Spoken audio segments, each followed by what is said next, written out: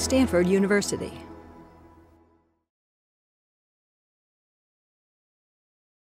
Well, thank you guys. Uh, we're, uh, we're thrilled to be here to, talk a little bit about iteration. Um, Bill was telling me before I came up here that uh, I was going to ask uh, how many people have been in startups or have been involved with companies. You know, he's told me that you guys are far and away uh, uh, excelled in that area, so I might be asking you some questions on how to iterate. But the whole key to iteration, and as you guys know when you have a startup, is that you're constantly iterating. So what I thought I'd do today is kind of go through a high level, uh, give a few examples, very simple examples of iteration. Let Sanjay talk to you a little bit about Crowd Factory because it's one of our portfolio companies that has done a phenomenal job at iterating to success. Uh, and then as part of the workshop at the end of the class, it'll be a challenge uh, related to Crowd Factory. So with that, let me, uh, let me get started. And uh, if you guys have any questions, by all means, you know, hop in uh, during, the, during the presentation. So the first thing uh, you guys want to make sure when you're, when you're starting your company is understand what your technology and capabilities are. Uh, and then understand what your goal is. Uh, because it's almost impossible to iterate if you don't know from where you're coming. So understanding your technology, the, capable of, the capability of your technology, and then how that can iterate to, uh, to drive it. The next thing is probably the hardest thing to do for companies is understanding what your company's, or excuse me, your customers' needs are and what your market opportunity is. So many times companies get started in a vacuum. Uh, they come up with a great idea and they think, oh, once we build it, it'll sell itself. You know, it's the old the field of dreams. If you build it, they will come. That doesn't exist in the real world. You have to go sell it. You have to understand your customers' needs. Uh, the product that you have, the technology you have, may fit some percentage of your customers' needs knowing that to iterate to get to 100% so that they gladly give you a check for your product is the key.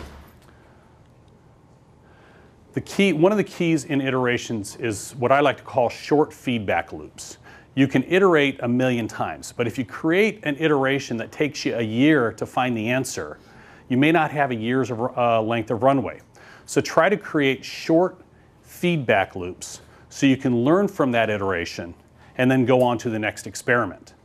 Uh, understand that the iteration takes place in every part of your business your technology, your product, your business model, your pricing model, your sales strategy, your marketing, your positioning, your value prop.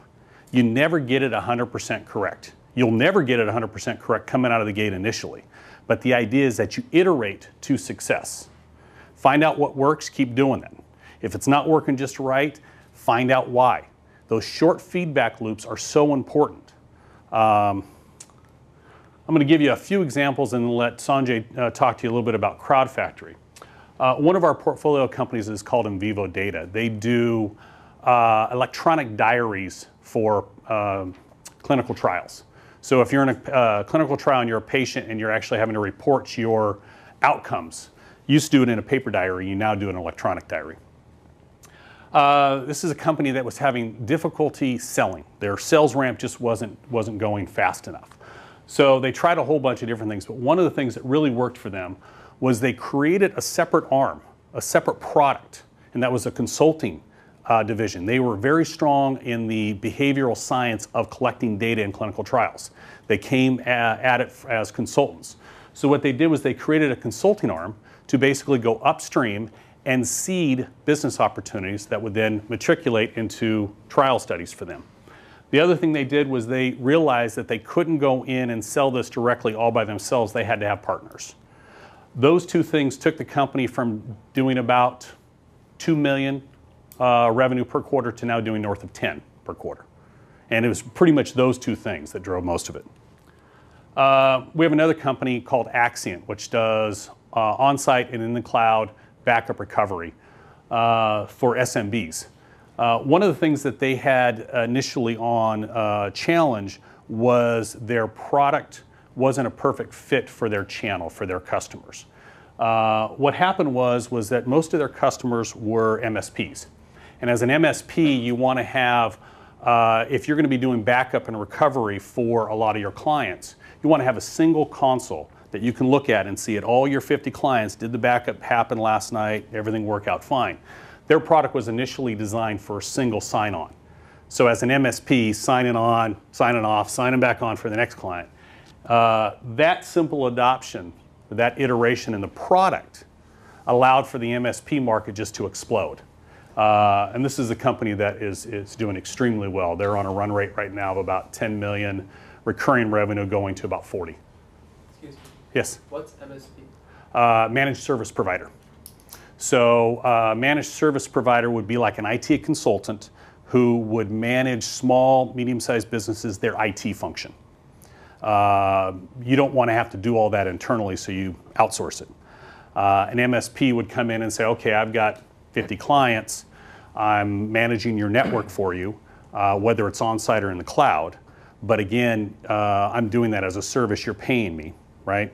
Uh, if, I'm do- if I'm responsible for your backup, the old Symantec backup exec, which is old school, but it's unbelievable how big that market is on, in and of itself, uh, never works properly on a regular basis.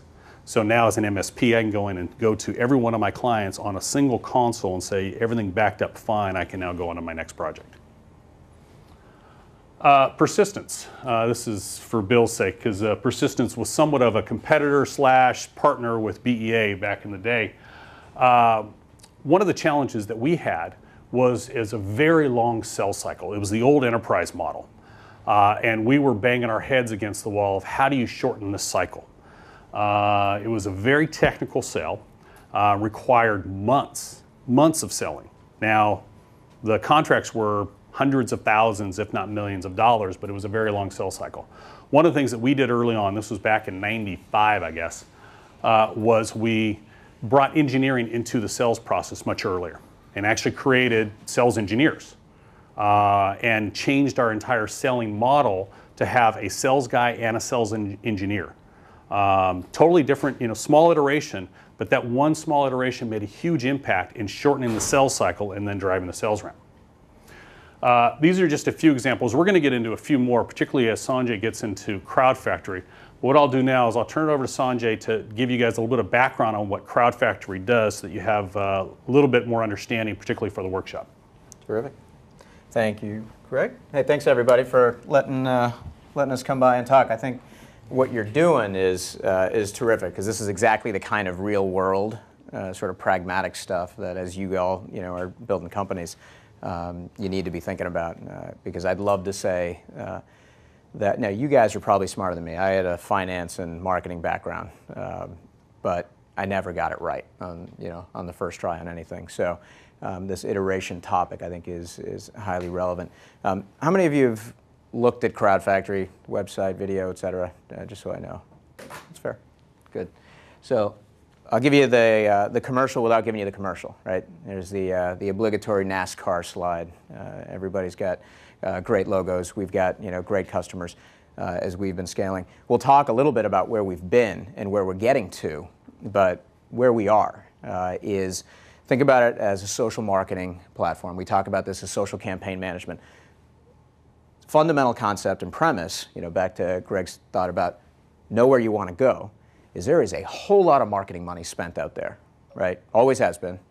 That number keeps getting bigger every day. Then along comes this thing called social, right? Now, what opportunity disruptively does that present? Fundamentally, how do you make every marketing dollar you're spending look like two? Because you've tapped into the power of that social graph. You know, I talk about this sometimes as C2C marketing, right? You know, the consumer's taking over. It's not B2B anymore, or B2C. You know, stop kidding yourself. The reality is this is C2C marketing. So how do you automate a word of mouth lift off of everything that you're doing? And so, you know, uh, we talk about this isn't about creating social campaigns. This is about making all campaigns social, right? And then it's a big, big opportunity, right? Uh, and so that's what we've been after. The thing that has made us unique is, uh, and again, we'll talk about how we got there, because it wasn't we figured it out right away, uh, is that we made this stuff turnkey and easy. Now, like I said, I'm a marketer by trade, so I can make fun of us all and sort of say, it's got to be easy for us, right? We learned that uh, along the way. Uh, two, it's got to be cross-channel, right? We don't think in terms of these silos of, hey, I'm just going to do this fun thing on Facebook. But what about the 90% of my traffic that's sitting on my email campaigns, my website, landing pages, et cetera. How do you make this stuff cross-channel? You know, the data. Ultimately, it's all about the data, right? If you look at any of the surveys in social, the number one pain point that everybody reports is, I can't measure this social thing. The number two problem they report is, I can't measure this social thing. so you, the data and the analytics are really important. Um, so that's what's made us different. That's what's earned us a lot of the awards and accolades. Um, how does it work? What does it look like? Something like this. You know, uh, think Britney Spears. Uh, Sony is a client of ours, right? The marketers at Sony have got to launch Britney's new album. And by the way, Britney hasn't had an album in a long time. She's had some personal problems. so they're going to spend a lot of money. TV ads, email, banners, you name it, all driving people to Britney.com. That's committed dollar spent. So if I'm going to spend that money, why the hell wouldn't I, pardon my French, give those people a chance to go get 10 of their friends? And so that's what they can do with the platform is go ahead, grab a Crowd Factory application, you know, one of the many, one of these is a group, uh, it's a group offer, think Groupon for the enterprise. And so when somebody hit Britney.com, up pops our application and says, hey, terrific, you're here. Go get 10 of your friends to come check this out. And if you do, everybody will get 20% off the pre-order on the album before anybody else gets access to it. So what's notable is, you know, Jane Smith stays on the Britney site, doesn't get pushed to Facebook. You spent money to get her there. You want to keep her there. Lots of other social stuff will push somebody away to Facebook. Keep her there. But what's happening is out on Jane's feed is a message from Jane, not from Sony. Because all the statistics are that if there's a message from Sony on your Facebook wall, you'll ignore it 85% of the time. Not because Sony's bad people or that Britney sucks. It's because you recognize it as an ad, and that's not why you're on the social network. But if it's a message from my friend Jane, I'll pay attention to it 85% of the time. So I, as a marketer, get to have my cake and eat it too. Because Jane is sending the message, but I actually get to help craft it. Right? Out of the Crowd Factory application, I get to control some of the branding, some of the messaging. Jane can make it her own if she wants. And then embedded in that are all of our tracking mechanics. So as her friends interact with that, come back, et cetera, we're tracking all that data. The folks at Sony can see in real time you know, lots of people are seeing this thing, not that many interacting with it. Maybe we should tweak the offer. Or lots of people sharing, but not that many people coming back. Maybe we got to change some of the creative. And we're building this person level database now. Goes beyond the Omniture WebTrends, sort of click tracking now. I got a database that says Jane pushed my message out four times, brought 1,900 impressions to me, and I got 33 people back and two converted.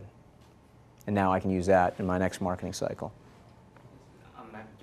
how's interface with the web page like does your thing just like is It can be it can be any of the above. So this goes back to that cross-channel point. So uh, we can trigger off an event. So meaning literally when somebody hits the web page, it triggers you know essentially a hover uh, over, uh, or we can sit right on the web page, or they could hit a different button and that pops up as a tab on your on their Facebook page, or they can hit a different button. This thing pops into their email template, right, uh, into their email engine wherever they want to put it is you know where they can put it. Essentially, it's you know I think about it as I was an old baseball player. You know, it's you got a big catcher's mitt. You got lots of traffic coming at you. You want to put this stuff in the path of as much as you possibly can because it's a numbers game, right?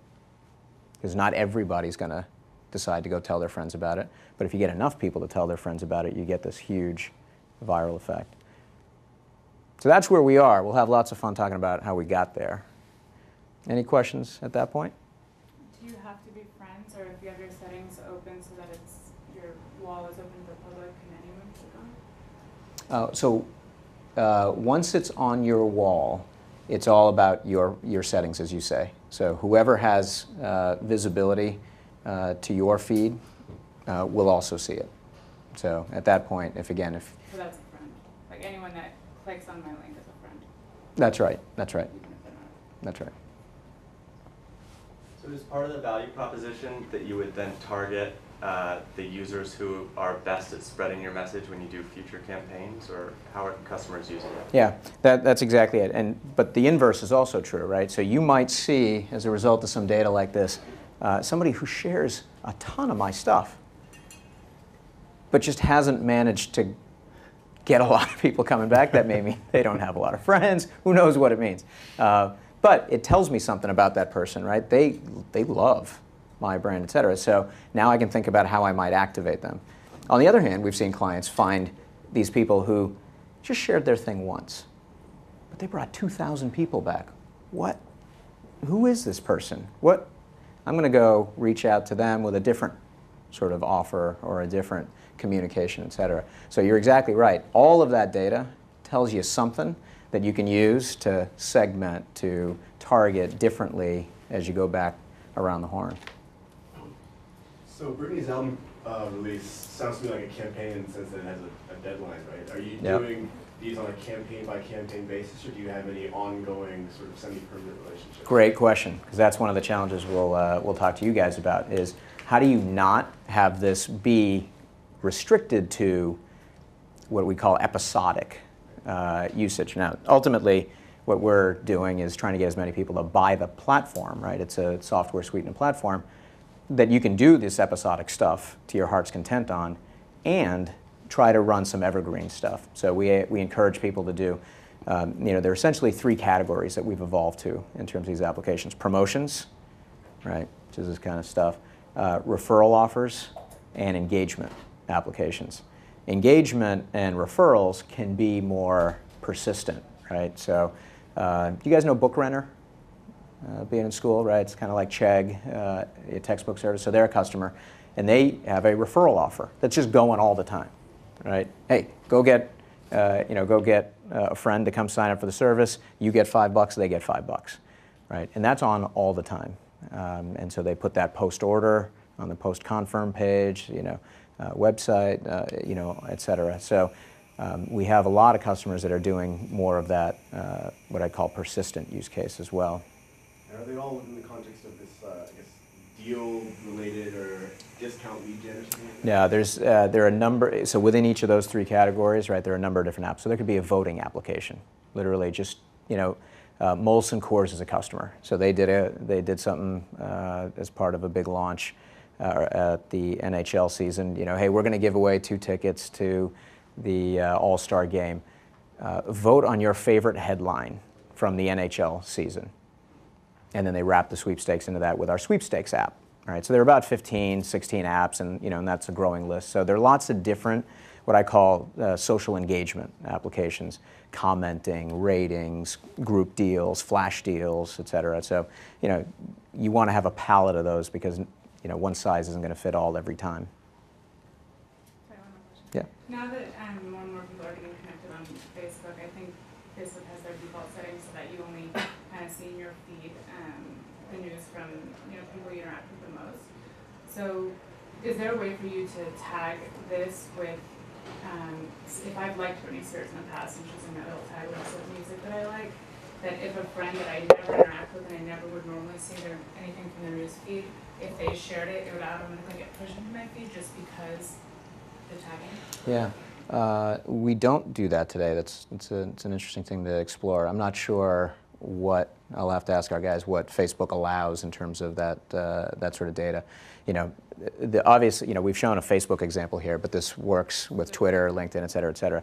Um, Facebook is the 800-pound gorilla, uh, and as you might imagine, they have a lot of terms of service uh, that we always want to stay on the right side of. Um, but that's a that's a really interesting idea. I'll, I'll look into that.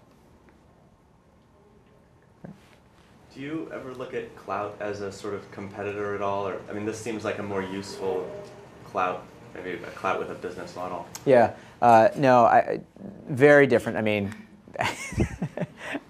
a guy that used to work for me is now running product at Klout, so uh, uh, I consider them friends. Um, we've actually uh, talked about integrating, right? So, in this whole thing, putting another little column on there that has their Klout score. Um, but I believe, you know, I'm horribly biased, uh, that that's less relevant because I actually don't know what it, my Klout score is right now. But whatever it is, is almost entirely tied to my presence in the social CRM market and et cetera, et cetera. And so the fact that REI might try to target me or leverage me somehow based on my, uh, my Klout score, doesn't make a lot of sense to me because people aren't listening to me about backpacks, right? But that's all they have to work with is this generalized notion. This stuff is horribly specific, right? This person, David Jordan or Jane Smith, probably has a Klout score close to zero. But on this particular topic or this particular product or whatever category, they're really relevant. And so I might miss some of that stuff. So I think about them as you know perhaps complementary, um, definitely not competitive. Just out of curiosity, do you have uh, like a Tumblr button and a Pinterest button? Like how many button, you know, how many? How many networks? Mhm. Uh, you probably won't be surprised to know that about 98% of the sharing happens on Facebook and Twitter. And if it's a B2B customer, right, IBM's a customer, it's, uh, you know, Marketo's a customer, uh, you know, it's LinkedIn. Um, so 99.5% of the sharing happens on those three networks. Uh, we have, you know, we have some others, but we've started to realize there's a diminishing return uh, to adding a lot of those at this point. I think if you try to StumbleUpon, you might discover something interesting. It's a good thought. It's a much bigger network these days than Yeah, was the case for a while. it's a good thought. All right, I'll get it back to you. Well, we're going to uh, ham and egg this next section uh, because mainly this is uh, a little bit of the history of Crowd Factory and, and how they got to where they are now, which is what Sanjay just took you through. So, when we first invested, which was about three years ago, uh, the initial position of the company uh, was really a platform, a white label platform for enterprises um, that did a lot of things that, that Sanjay talked about, but it was an enterprise sell. We actually had to go in there and sell to customers like Martha Stewart, HBO, Comcast, VH1, uh, direct sales force, ASP around 10K a month. Uh, but here were the challenges. Obviously, with an enterprise sell, it's a long sales cycle. The biggest challenge we had was that they, we had to basically do a complete overhaul of their web presence or wait for them to do that overhaul of their web presence to get our white label technology integrated. Uh, so timing of that was huge. Uh, and you know, we had one-offs and we had some success, uh, but it also required heavy IT and labor components from the customer. Uh, so that was that was the first real major challenge. Um, anything you want to add to that before we go to the kind of like first iteration? Uh, so, you know, full disclosure, I joined the company about a year and a half ago. Uh, but the reason I was familiar with Crowd Factory was because uh, the company I was at before, Lithium Technologies, we'd actually looked at trying to buy Crowd Factory uh, because the technology uh, stack was so, uh, so strong. But you know, embedded in this notion was as they started building this, Facebook and Twitter and LinkedIn sort of hadn't showed up, Right. right? If you think about how fast and far the world has come in a short period of time. Um, and so at that point, the only thing you were really left with was how do we make the website social? And so that's where the company started. How long ago was this? That was 2008? 08, uh, early 9. Um, and this was when we realized, uh, management and the board realized that we got some serious challenges. We're not going to scale the way we want to given these challenges. So, what do we do? How do we iterate to really start to get that ramp? Um, so, really, we kind of went through um, this first iteration, which was trying to address these challenges that we had. Uh, we said, all right, well, we've got this fabulous platform.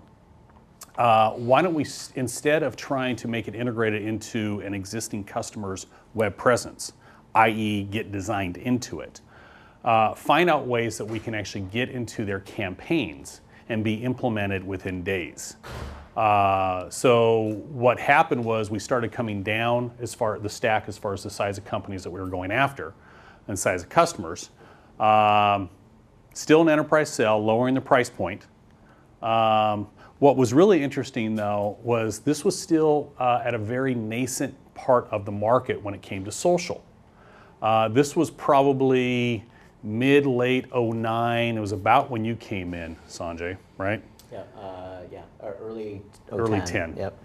And one of the things that we were, we were finding out is as we were going down that stack from a standpoint of customers, uh, was that everyone said, you'd go to talk to a marketer and says, yeah, I'm supposed to be doing something social. And they're like, great, we can help you. And then they look at you with this blank face of, I don't know what to do. Well, you can do anything. Well, they didn't want to be told they could do anything. They wanted to be told you can do X, Y, and Z, and here's how you do it. And that was a real challenge that we had with this first iteration. Uh, was we had this unbelievably uh, versatile platform, which was fabulous. But in the in the end, it actually created a problem for us because we could do anything, and the customer says, "Great, we can do anything." We're now starting to do one-offs for every one of our customers, and we're almost into a consulting business, which then destroys your margins because you can't resell the same product a million times. So again, we had challenges in this iteration. Part of it was also the market was iterating.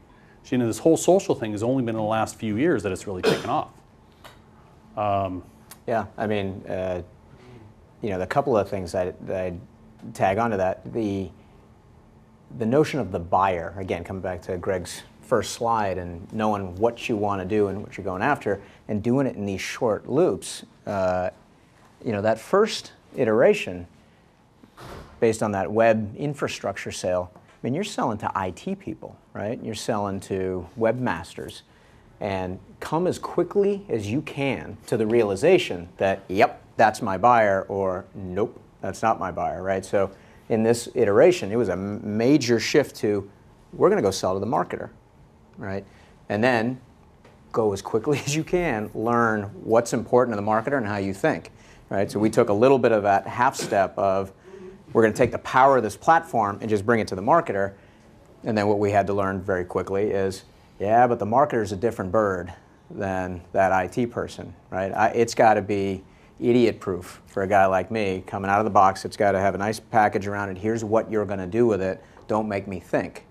Um, as opposed to the value proposition that we might have thought was, wow, the flexibility of this is terrific.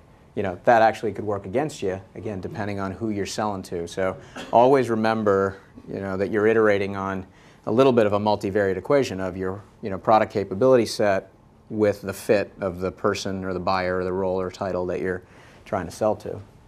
Yeah. And that kind of brings us to where we are now, which is, uh, let me go back one, which is really um, what Sanjay was talking about is we have this platform and we have applications on this platform, which you can pull down, whether it's a sweepstakes uh, tool or a polling pool or a uh, group buying uh, application. We run the platform, but you can, we can get you up and going almost within minutes within these applications. And the whole idea then is to get the customer to get started with these applications and then buy the platform. Uh, again, we're coming down that, that pyramid of customers from dealing with the very high end to dealing with, at the very high end, the very top, down to small size businesses now. Uh, and in doing that, we've had to change our sales model from an enterprise and a telesales approach. We've changed our ASP to allow for these customers to get on board faster. So our ASP now is more like $2,000 a month. And then hopefully the idea is you start off small and then you, you ramp them up. Uh, what's interesting now is that we've Sanjay uh, has done a lot of this, uh, and where we are now is is get back to your question on these campaigns, is how uh, the campaigns are very episodic, you know, and with these marketers, it's so great, you know, Crowd Factory is awesome. We use it for every one of our campaigns. We run three campaigns a year, and they're six weeks long. Well, from a business standpoint, we're not getting revenue for 40, 36 weeks a, a, a year, right? That doesn't work. So it's these episodic driven uh, value props that we need to, to, to overcome. Um, the other thing is, is we've created a little bit more vo- velocity on deals because we've simplified it. So you can come on their website and basically take an app and be up and running within minutes. Uh, now, how do you then create the business model to maximize the dollars that you're going to pull out of that customer? Um, the other thing that's interesting is that there are some players out there that are very service oriented, kind of almost iteration uh, behind us, and saying we'll provide a lot of services, a lot of people to hold your hand and walk you through all that. You know, whether or not they end up being successful is almost irrelevant at this point. We're having to compete with them. So, how do you compete with someone who's willing to throw bodies at it and customer service when you don't want to have to because you know that model isn't sustainable? Um, what else before we kind of get into the challenge that I missed? those are the key things, and you know we talked about it a little bit. So what we've taken in this iteration is a add the pieces right that remove the objections.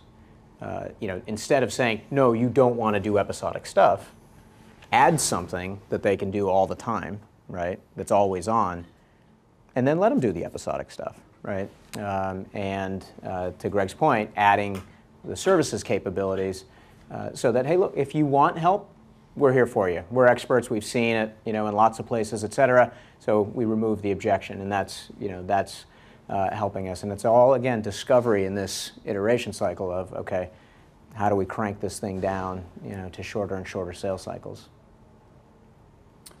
Um, maybe open up to some questions before we get into the challenge for your workshop. Sure. I find it interesting that like you're you're intersection consult, consulting slash marketing and IT, and I'm curious like where do you think like your revenue strategies are? And like you, you mentioned your first time you guys talked to the IT folks and now marketing. I'm guessing now you probably bring everyone to the table. Uh, ironically, because of this notion of packaging it, making it easy, uh, we rarely actually end up interacting with the IT folks. Um, where we will end up with IT folks, it generally has to do with security stuff. But one of the lessons learned, again, in the iteration, uh, again, you, you can't possibly learn enough about your customers, right? Uh, was that marketers uh, really don't like the IT guys. Not because they're bad people, the IT guys are always oversubscribed. They always have way too much to do. And when marketing is required to put some put a ticket in with IT, you know, hey, we need some help because we need to get this onto our website, et cetera. Um, they just get put at the back of the line for whatever reason, right? It's a Rodney Dangerfield uh, effect of the organization. So, you know, one of the other things that we didn't talk about in this, uh, you see it here on the first box, one of the other iterations in this cycle was adding the cross-channel capability that we talked about, uh, that I described earlier. Uh, because what we realized is, you know, in the second iteration where we were focused again on that web presence, uh, we realized that a lot of marketers didn't have access to their own websites. They had to go get somebody's permission to touch that web presence. And so if we added the capability to drop it into email, added the capability to pop up a landing page, added the capability to publish to their Facebook page, which they did own, right? IT hasn't yet taken over the Facebook page. They were thrilled right? So you know that was another uh, thing that we added in this in this iteration cycle, so that we can stay as focused on the conversation with the marketer, because that means a sales cycle about this long as opposed to that long.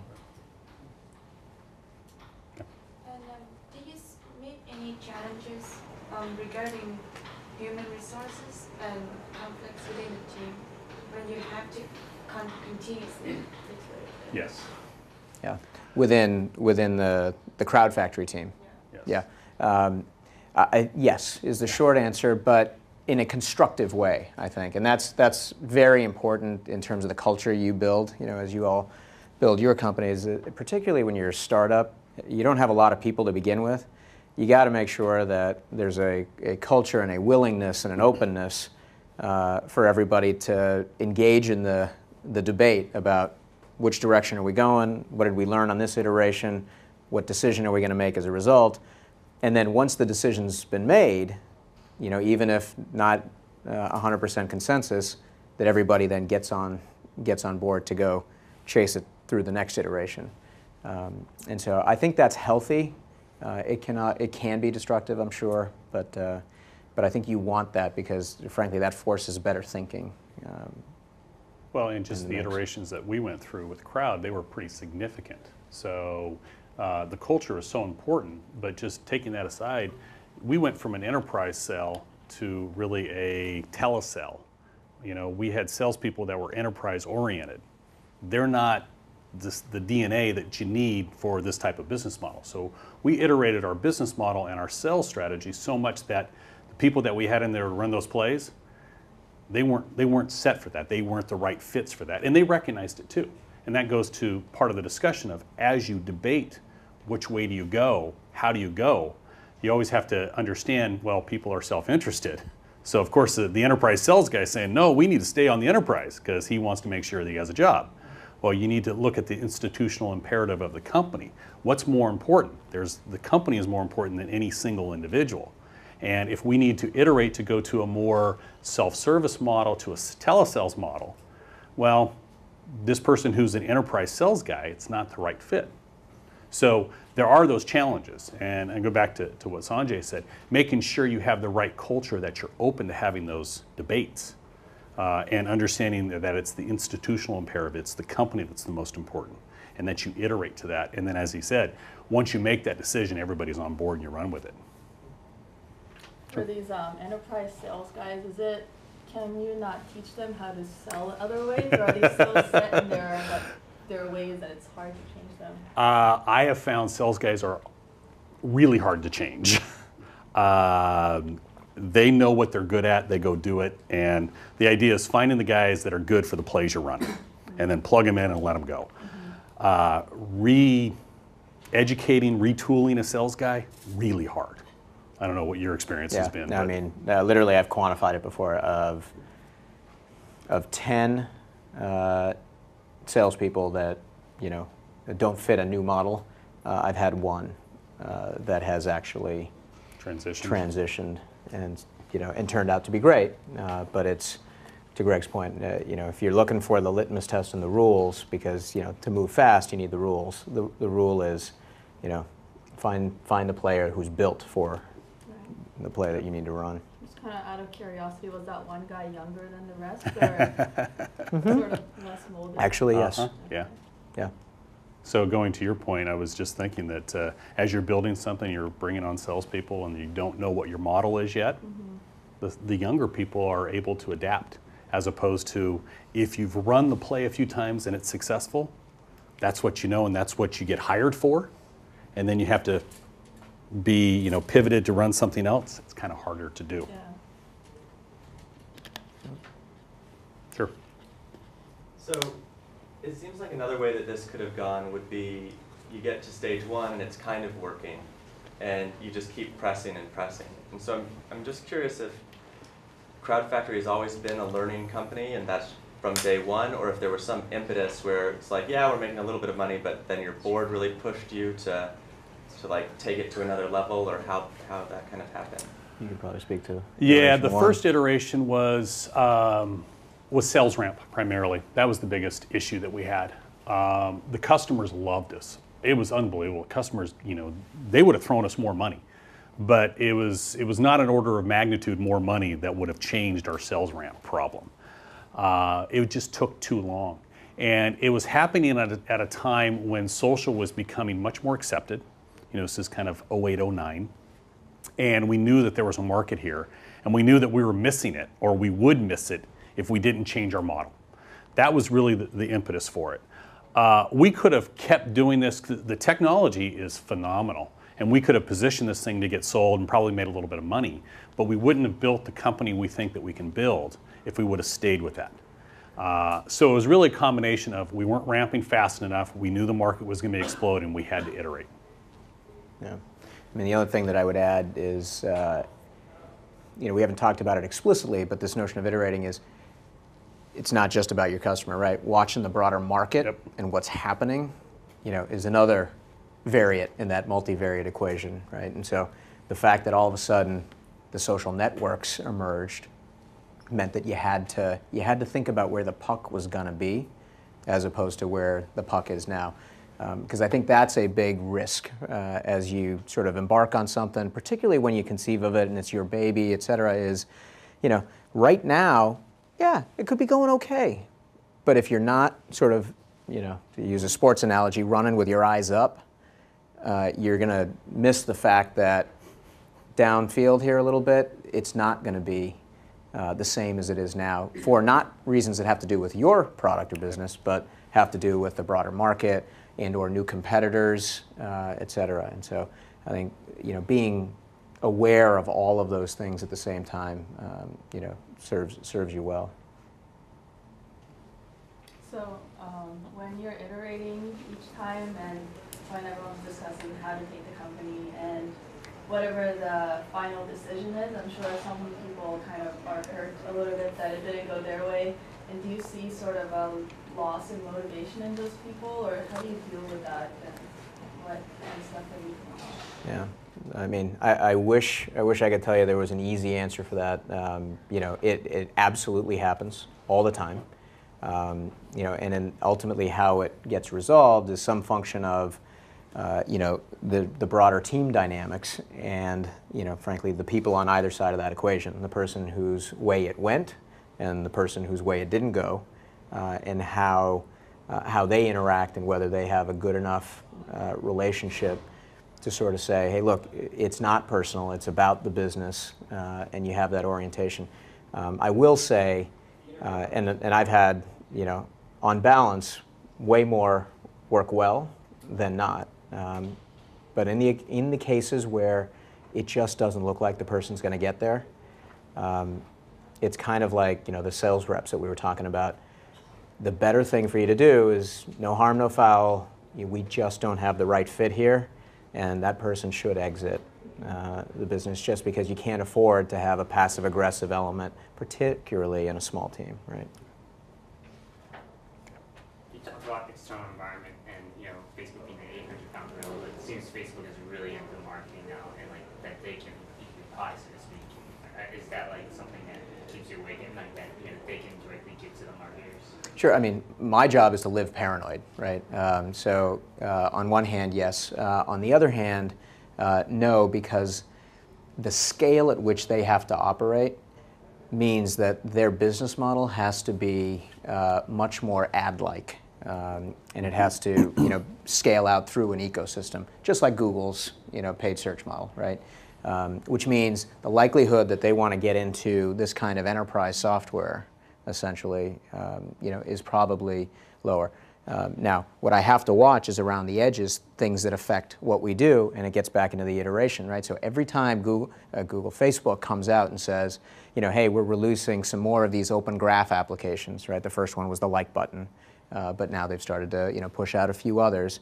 Uh, we need to react very quickly and figure out what does that mean for us. Or when they release the timeline capability, okay, what does that mean for us? Um, and so eh, that's a great example of you know running with your eyes up because the way the world looks right now, you know, is probably not the way it's going to look, you know, downfield. Um, I'm curious about what you have found um, in terms of social sharing on Facebook versus Twitter, and also um, you mentioned earlier about email sharing, and if you're able to track any data. from Yep. that. Uh, so short, quick answers. Uh, lots more sharing on Facebook, way more resulting visits from Twitter. Um, email, uh, very good results. Um we just had one. You know, it's almost a two to one lift on impressions, right? So you can send an email to 200,000 people if you've got the right social application inside it. You know, I think I told you about that Molson example, right? With the NHL hockey tickets. Uh, that got put in the feeds of another 125,000 people. Those are people that Molson never knew about. And so now you have an opportunity to go cultivate relationships as, as those people start to come back, et cetera. So uh, it, uh, it can be, uh, I actually think email is one of the more powerful applications in social, ironically, right? Because everybody's been talking about email is dead. Uh, I'm curious, we're old school. You Yeah. guys are younger. How do you view that? Do you think email is a good marketing tool or not? You do. I see heads nodding. Okay. It's, it's more personal than Facebook. Okay.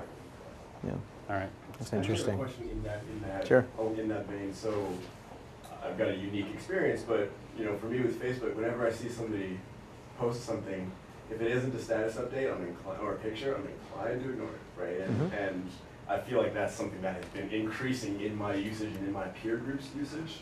And Facebook is obviously well saturated, but have you started experimenting with other, you know, since this is C to C, have you started experimenting with, well, where are the Cs seeing each other, right? And, Mhm. and, and if there's a lot of high engagement on, say, Tumblr is one that I'm throwing out there because people are reblogging all the freaking time, how much of that do you guys have to spend time thinking about in terms of Yeah. how you then go to your enterprise? Yeah, no, we have to be thinking about it all the time. Are Uh, you experimental there, or is that, is there stuff that you? Yeah, uh, for sure, right? Because not only do we, you know, we instrument the product to figure out, you know, where people are traveling within the product, then we are watching the aggregate data of all of our customers' activity, right? To sort of see what are the patterns, you know. So I'm not instead of looking just at Molson, if I look at, you know, 10 customers, you know, where where is the traffic coming from? You know, back to this uh, Twitter, Facebook uh, question, et cetera, and start to see if there are new places uh, that are emerging, or this particular customer had a spike of traffic on this. Why was that? You know, did it have to do with the time of day? Right, we learn about that stuff. Uh, did it have to do with some exogenous event? Uh, you know, the South Carolina primary, uh, or did it have to do with, you know, where it was, you know, in terms of the network, et cetera? So, um, yeah, we have to be watching all of that. Um, If you're aggregating data across all of your customers, um, how do you see that evolving in the future in terms of how you're going to use that? Maybe to price discriminate uh, on future campaigns if you know that one customer is more valuable to you than another or whatever. Yeah. Um, so here's some iteration cycles that, that we see emerging with the data. You know, once we get a little more scale with that data, the first thing is we can start doing benchmarking, right? And I can use that either as a differentiation in the sale or actually charge them for it. Meaning, you know, hey, CPG companies like you, here's what good is for them share rates of 30% or interaction rates of 15%, et cetera. And if you're below that, well, then let's, you know, you might want to buy some services, or, you know, if you're above that, then terrific, but you only get that visibility with us. So that's, that's one uh, bit of value. Um, you know, uh, as you turn the crank again, that data can help us identify even narrower segments, right? Um, we're by no means done on this iteration thing, right? We're talking about selling to marketers. To me, that makes me lose sleep. You know, I want to know even more narrowly because not every marketer is created equal for me, right? I know in my gut that, you know, there is this segment of marketers in verticals that are really good for us, and the rest of them aren't. That data will help us figure that out, right? Uh, and then the third bit at really large scale is we could probably start selling that data, right? In terms of, you know, whether it's ad targeting or, you know, lots of other interesting things. But to me, I think that's a third growth cycle out. It's a good thought. And this a good question about the way it looks. How do you know when the ten friends have clicked on it? I mean, how, how do you notify the customer, or is there like? this is- So embedded in those um, in those messages are tracking, essentially unique tracking links. So inside this Jane Smith message here, uh, every time somebody shares, literally every time, our systems auto-generate a specific, unique link to that person, to that piece of content, to that place. And so we literally will know now if anybody clicks on that, we can tie that, you know, that daisy chain activity all the way back to. How do I know, like, once I've clicked on it, how do I Ah, know yeah. So, so on the, uh, a, a part of the application, right, is now because we can trace it through that link, we've associated it with you in that particular offer. And so uh, there is, as part of these applications, a track progress um, game. Essentially, it's a game element, right? So people keep coming back and they're hitting refresh. You know, did I get it? Did I get it? And if you haven't, guess what that makes you do? you promote it more, right? Um, and so, uh, so that's that's the specific user experience on how you know. Um, and then once it tips over, so you may not, you may not go back and check at all, and you're just sort of letting your feed do the work. Once the once it tips over, uh, if there is something to be fulfilled, our system will also automatically send you an email that says, "Hey, you just got 10 people to hit the Britney thing. Here's your code." Um, actually, Oh, I was do we- about the effectiveness of referrals when you have new features that emphasize priority. So have like priority inboxes and like automatic filters, even on Facebook where they start to bring the most important posts at the top of the. Sure, the whole edge rank thing, et cetera. Um, absolutely, there, and there's no silver bullet. It's why you know it's part of the value proposition here is with the analytics. You are learn. You know, we tell marketers, look, there is no silver bullet, right? Because of edge rank, because of all these things, you have to learn what works and what doesn't work for you, and continue to optimize. Um, and that's what the data does for you.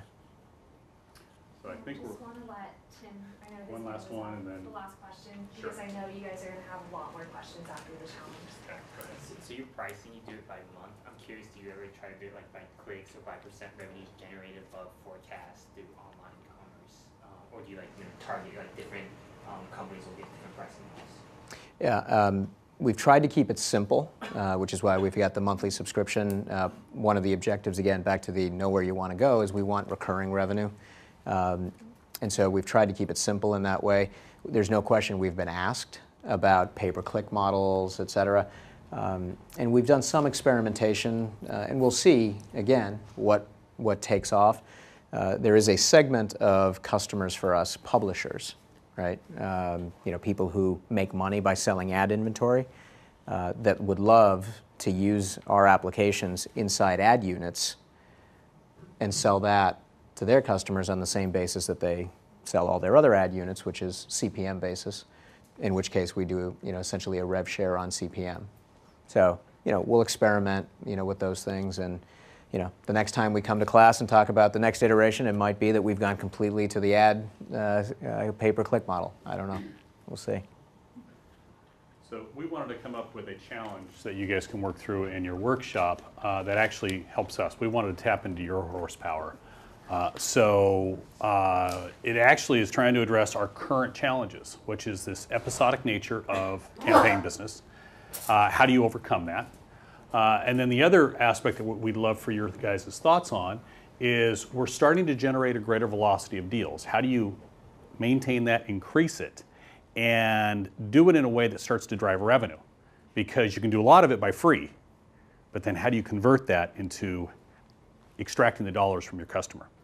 So that's our challenge currently, and it's your challenge now for your workshop.